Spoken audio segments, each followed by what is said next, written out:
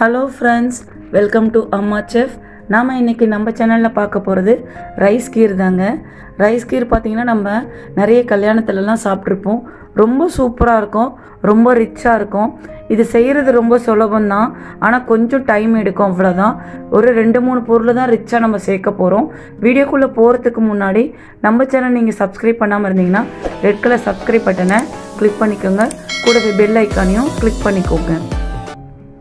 நான் இன்றைக்கி மூணு பொருளை நல்லா ஊற வச்சுருக்கேன். நான் ஒரு ஐம்பது கிராம் போல் பாஸ்மதி ரைஸ் எடுத்திருக்கேன். பாஸ்மதி ரைஸ் பார்த்தீங்கன்னா ஒரு ஒரு மணி நேரத்துக்கு முன்னாடி நல்லா ஊற வச்சுருக்கேன். நல்லா ஊறினா தான் உங்களுக்கு ரைஸ் நல்லா சீக்கிரமாகவும் வேகும். கீர் வந்து நல்லா இருக்கும். நான் ஒரு மணி நேரம் போல் நான் ஊற வச்சு எடுத்திருக்கேன். இது அப்படியே இருக்கட்டும். இது நம்ம இப்போ வேக வச்சு எடுத்துக்க போகிறோம் அதனால் இது அப்படியே இருக்கட்டும். இது நம்ம வேக வச்சு எடுக்கும்போது ஒரு பத்து நிமிஷம் போல் வேக வச்சாலே சீக்கிரம் வெந்துடும் இப்போ நான் ஒரு பத்து பாதாம் எடுத்திருக்கேன். பாதாம் கூட வந்து நான் ஒரு மணி நேரத்துக்கு முன்னாடி தான் ஊற வச்சுருக்கேன். நல்லா சுடுதண்ணியில் போட்டு ஊற வச்சுருக்கேன். நீங்கள் சுடுதண்ணியில் போட்டிங்கன்னா ஒரு மணி நேரத்துக்கு சீக்கிரமாகவே உங்களுக்கு ஊறி தோல் நல்லா உறிஞ்சி வந்துடும் இது நான் ஒரு மணி நேரம் ஊற வச்சுருக்கிறதுனால உங்களுக்கு பாருங்கள் தோல் எவ்வளோ சீக்கிரம் நல்லா உறிஞ்சி வருதுன்ட்டு. இது நீங்கள் சுடுதண்ணியில் போடலைன்னா மினிமம் ஒரு ஆறு மணி நேரமாவது ஊற வச்சு எடுக்கணும் நீங்கள் பாருங்கள் நான் ஒரு மணி நேரத்தில் தான் ஊற வச்சுருக்கேன். நல்லா உறிஞ்சி வந்துருச்சு. அதுக்கப்புறம் பார்த்தீங்கன்னா ரொம்ப கம்மியாக நான் குங்குமப்பூ எடுத்திருக்கேன். இது வந்து நல்லா சுடுதண்ணியில் போட்டு நான் ஒரு மணி நேரத்துக்கு முன்னாடியே ஊற வச்சுருக்கேன். இது நல்லா சுடுதண்ணியில் போடும்போது இதோட கலர் வந்து நல்லா உங்களுக்கு வரும். சுடுதண்ணியில் போடலனாலும் பாலில் கூட சூடான பாலில் கூட நீங்கள் போட்டு ஊற வைக்கலாம். நல்ல கலர் கிடைக்கும். இது நான் ஒரு மணி நேரம் போல் சுடுதண்ணியில் ஊற வச்சு எடுத்ததுனால தான் இந்த கலர் கிடச்சிருக்கு. இது அப்படியே இருக்கட்டும். ஃபஸ்ட்டு நாம் ரைஸை நல்லா இப்போ வேக வச்சு எடுத்துக்க போகிறோம் இதை நம்ம வச்சுட்டு நம்ம ரைஸை முதல்ல வேக வச்சு எடுத்துடலாம். நான் ஒரு இந்த மாதிரி பாத்திரம் எடுத்திருக்கேன். இதில் ஒரு டேபிள் ஸ்பூன் போல் நான் நெய் சேர்த்துருக்கேன். நெய் நல்லா சூடாயிருச்சு. நான் ஒரு அரை லிட்டர் போல் தண்ணி சேர்த்துருக்கேன். ஒரு ஐம்பது கிராம் ரைஸ் தான் நம்ம இப்போது வேக வச்சுருக்க போகிறோம் அதனால் அரை லிட்டர் தண்ணி கரெக்டாக இருக்கும். தண்ணி நல்லா கொதிக்கட்டும். தண்ணி நல்லா கொதிக்குது. இப்போது இதில் ஒரு அரை ஸ்பூன் போல் நம்ம ஏலக்காய் தூள் சேர்த்தோம்னா கீர் வந்து நல்ல வாசனையாக இருக்கும்.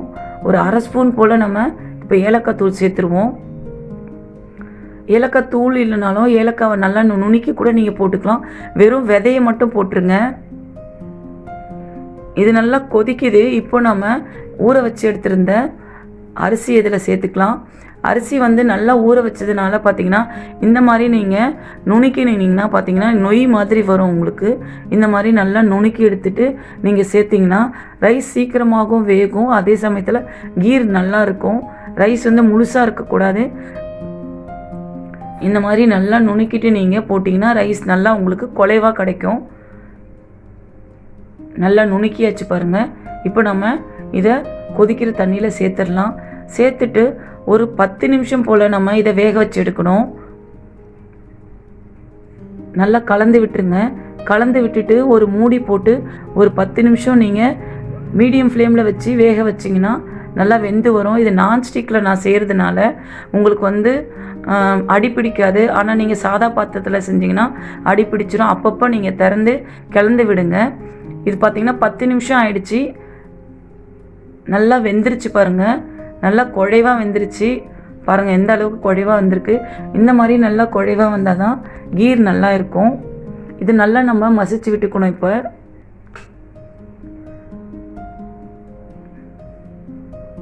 நல்லா வாசனையாக இருக்குது நெய் சேர்த்துருக்கிறதுனால. இப்போ நல்லா இதை நம்ம கலந்து விட்டாச்சு.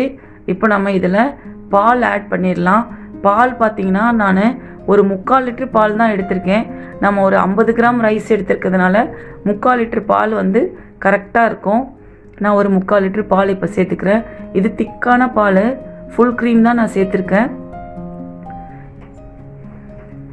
இது நல்லா நம்ம இப்போ கலந்து விட்டுடலாம் கீருக்கு பார்த்தீங்கன்னா நல்லா பால் எந்த அளவுக்கு திக்காகுதோ அந்த அளவுக்கு வந்து கீர் நல்லா ஒரு டேஸ்டியாக வரும்.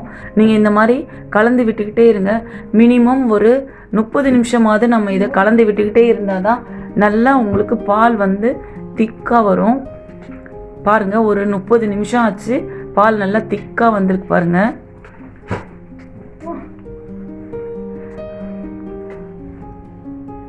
நல்லா திக்காக வந்துருச்சு. இப்போ நம்ம இதில் ஒரு நூறு கிராம் போல் சர்க்கரை சேர்த்துடலாம். நம்ம கண்டென்ஸ் மில்க் சேர்க்கறதுனால ஒரு நூறு கிராம் போல் சர்க்கரை கரெக்டாக இருக்கும்.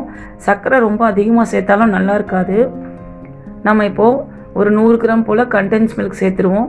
நான் ஒரு மில்க் மைடு வந்து இரநூறு எம்எல் போல் வாங்கியிருக்கேன். அதில் பாதி நான் சேர்த்துருக்கேன். இந்த மாதிரி கீருக்கு வந்து கண்டென்ஸ் மில்க் சேர்த்திங்கன்னா தான் ரொம்ப டேஸ்டியாக இருக்கும். நல்லா திக்காகிடுச்சு பாருங்கள் ஒரு நாற்பத்தஞ்சு நிமிஷம் ஆயிருக்கு.